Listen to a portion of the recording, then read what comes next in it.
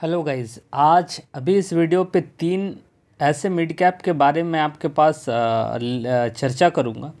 इन, इस तीन mid cap में दो ऐसे मिड कैप कंपनीज़ हैं जो एकदम हाल ही की लिस्टिंग है और इतना बेहतरीन परफॉर्मेंस कर रही, इतना उमदा परफॉर्मेंस कर रही है कि आप सोच नहीं सकते हैं। ये है इसका एक साल का चार्ट पैटर्न सॉरी ये इसका लाइफ टाइम चार्ट पैटर्न है 2016 से आप इस स्टॉक को लिस्टेड मान सकते हैं। स्टॉक एक्सचेंज पे और मेरी मानिए आप इन तीनों स्टॉक्स को किसी भी पैरामीटर से आप इसे मतलब इग्नोर नहीं कर सकते हैं। अगर आप एक एक अच्छे इन्वेस्टर हैं, आपको मिड कैप सेगमेंट में अगर पैसे लगाने चाहते हैं तो इससे बेहतर तीन स्टॉक आपको नहीं मिलेंगे किसी भी दृष्टिकोण से, चाहे वो बिज़नेस मॉडल हो, चाहे वो डिविडेंट हो, चाहे वो फंडामेंटल हो, चाहे उसका चार्ट पैटर्न हो, चाहे उसका ट्रेंड हो एवरीथिंग इज़ फाइन आपको किसी भी तरह की कोई टेंशन वाली बात नहीं नज़र आएगी। छः सौ पच्चीस रुपये का स्टॉक हुआ करता था 2016 में।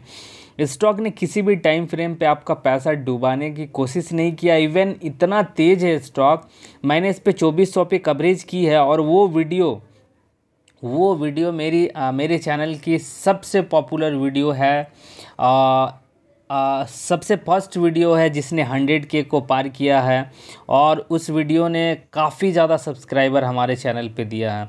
जी हाँ एक लाख पंद्रह हज़ार व्यू आया पहला ऐसा वीडियो है हमारे चैनल का। उस वीडियो पे मैंने आईटी कंपनी के बारे में चर्चा किया था एप्लीकेशन डेवलपमेंट वाली एक बेहतरीन कंपनी मतलब लोगों ने इतना पसंद किया और 2400 से ये स्टॉक 2700 तक पहुँच गया। पहला स्टॉक मैं बता रहा हूँ, तीनों ज़बरदस्त कंपनियाँ हैं। पूरी वीडियो देख के जाइएगा, लाइफ चेंज कर सकता है ये सभी stock.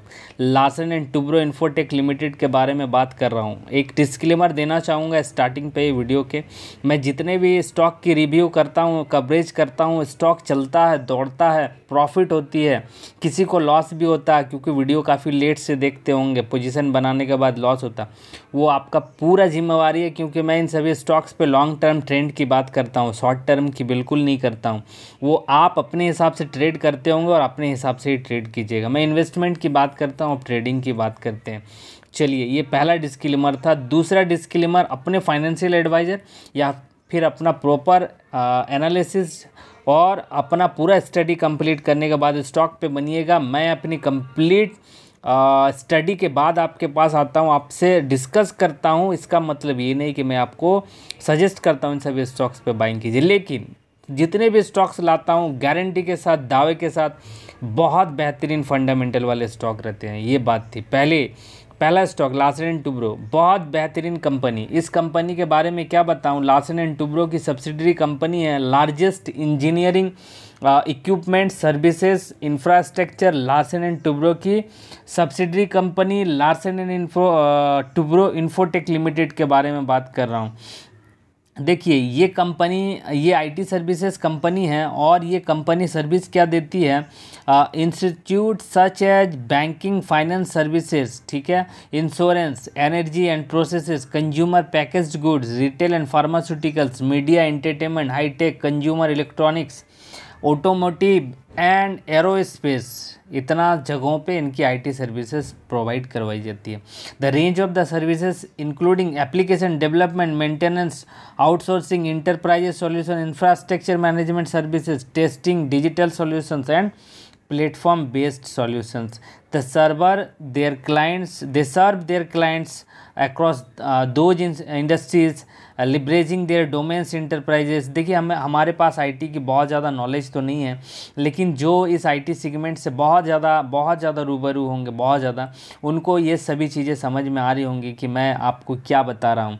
ठीक है? The company is one of the Indians largest global IT services solutions company in 2050 Nasscom इन्होंने रैंक्ड किया था। The company as the six largest Indian IT services company in terms of export revenue जी हाँ बाहर से जो revenue आता है उसमें 2015 पे सबसे ज़्यादा रेवेन्यू कमाने वाली कंपनी कौन बनी?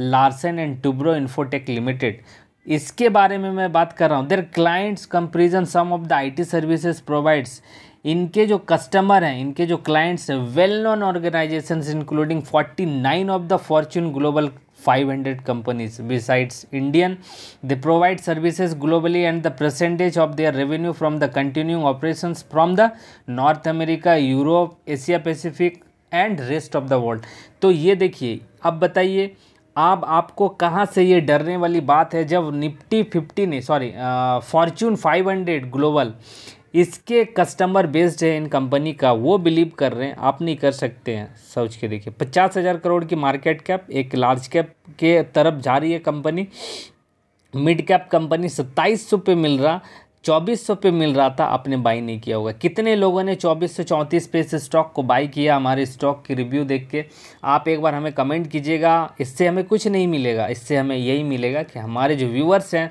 उन लोगों को डेफिनेटली प्रॉफिट हो रहा होगा। ठीक है? और यही मैं चाहता हूँ, मेरा काम है आपको प्रॉफिट दिलाना। ठीक है? Return on capital employed return on equity sales growth dividend yield promoters holding super percentage कोई गिरवी नहीं डेट फ्री कंपनी उनतीस सौ की इंट्रेंसिक वैल्यू थी, जो कि दो सौ रुपये अभी भी दूर है। तो उनतीस सौ पे जाने के बाद ये स्टॉक फिर से प्रॉफिट बुक के क्राइटेरिया पे आ जाएगा। तो आप थोड़ा सा वेट एंड वॉच कीजिएगा। अगर ये स्टॉक 2000 पे आपको मिल गया, आप इसे छोड़िएगा नहीं, ऐसी कसम खा लीजिएगा। मैं आपको कह रहा हूँ कि ये सभी कंपनीज़ आपको आने वाले टाइम में इस प्राइस पे नहीं दिखेगा। देखिए, वीडियो इसीलिए लंबी हो जाती है हमारी, ठीक है? देखिए, एक ही स्टॉक की कवरेज देते देते कितना टाइम हो गया? देखिए छः मिनट की कवरेज हो गई। आपको मज़ा भी आ रहा होगा सुनने में। लेकिन क्या करूँ? लोगों की पसंद नहीं है तो छोटा छोटा वीडियो बनाना पड़ता। देखिए, तीन सालों में इक्यावन परसेंट का सी और कौन स्टॉक देगा, मुझे पता नहीं। आप हमें ज़रूर कमेंट करके बताइएगा। एक साल में सतहत्तर परसेंट तेज था तो ये चार चार बार तीन तीन बार डिविडेंड भी पे करती है। तो देख लीजिएगा, इस कंपनी को मैं आपको नेक्स्ट कंपनी के बारे में बताता हूँ। शायद दो ही स्टॉक किस पे रिव्यू हो जाए, तीन का हो या ना हो देखिए नेक्स्ट स्टॉक जिसके बारे में मैं बताऊँगा, आप परिचित हैं इस स्टॉक से। जी हाँ नन अदर देन आईआरसीटीसी के बारे में बात कर रहा हूँ। इनके बिज़नेस का तो टक्कर देने वाला कोई कंपनी ही नहीं है। और मिड कैप सेगमेंट पे अगर आपने आईआरसीटीसी को नहीं देखा या फिर इस पर आपने पैसे नहीं लगाए हैं, या फिर आपने पैसे इस पर आई आया था, आपने आईपीओ अप्लाई किया और लिस्टिंग इनकी दिन ही निकल गए तो आपने बहुत बड़ी बेवकूफ़ी की। और अगर इस प्राइस पर भी इस स्टॉक को आप छोड़ रहे हैं तो शायद कहीं ना कहीं आने वाले पाँच से दस सालों के बाद में शायद हम लोग पछताएँगे कि आई को हमने उस प्राइस पे क्यों नहीं खरीद के रखा? एटलीस्ट कम से कम दो हज़ार का इन्वेस्टमेंट तीन हज़ार का इन्वेस्टमेंट क्यों नहीं किया? ऐसा आप शायद पछता सकते हैं, क्योंकि इनके पास से ऐसी बिज़नेस मॉडल ऐसा फंडामेंटल कि शायद कोई भी कंपनी इसको टक्कर नहीं देगी, इसके सेगमेंट पर कोई दूसरी कंपनी है ही नहीं। The company was incorporated as a Indian railway catering and tourism corporation limited September two thousand sorry twenty seven nineteen ninety nine और पब्लिक लिमिटेड में कन्वर्ट हुई और धीरे धीरे करके ये कंपनी uh, चलती गई। अभी इनका बिज़नेस सेगमेंट क्या है? तो देखिए बिज़नेस सेगमेंट जो है एक मिनट बिज़नेस सेगमेंट जो है सेंट्रल पब्लिक सेक्टर इंटरप्राइजेस ये पूरी गवर्नमेंट ऑफ़ इंडिया के अंडर में है इनका administration control ministry of railway authorise Indian railway provide the catering services to the railways online railway ticketing packaging of drinking water and railway station and train in India तो इतने सारे जगहों पर hospitality hospitality की भी services provide करवाती है।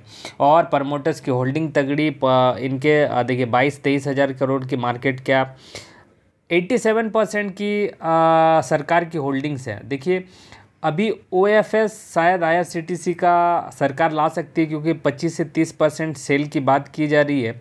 तो सॉरी। तो इस चीज़ को ध्यान पे रखते हुए स्टॉक पे बनिएगा और एस आई पी मोड पे ख़रीदने की कोशिश कीजिएगा। ओ एफ़ एस आएगा ऑफ़र पर, सेल्स अगर इस पर नीचे के प्राइस देखने को मिले तो शायद स्टॉक वहाँ से करेक्ट हो सकता है। इसीलिए इस पर तेज़ी नहीं आ रही है।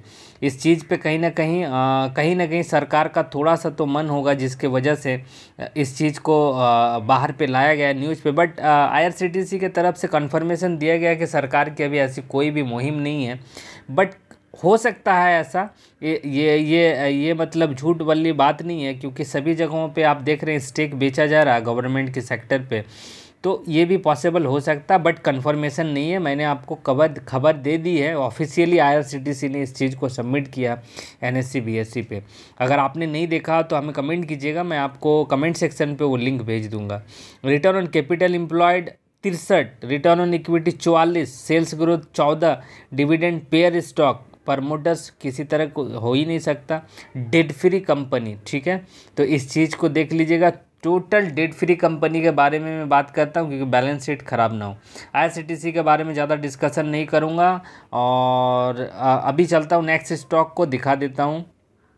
देखिए, वीडियो काफ़ी लंबा हो जाएगा। मैं दो ही स्टॉक का रिव्यू करता हूँ। अगर दोनों स्टॉक को पसंद आया तो हमें कमेंट कीजिएगा। मैं इसी सीरीज़ पे मिड कैप से और दो तीन स्टॉक चार पाँच दस स्टॉक जो भी बढ़िया क्वालिटी का है क्योंकि ये सभी स्टॉक हज़ार पंद्रह सौ के आसपास में तो कोई सौ, दो सौ का, पाँच सौ तक का भी स्टॉक है। वो, वैसे भी स्टॉक्स लोग चाहते हैं तो हमें कमेंट कीजिएगा। मैं वीडियो ज़रूर ज़रूर प्रोवाइड करवाऊँगा आप तक।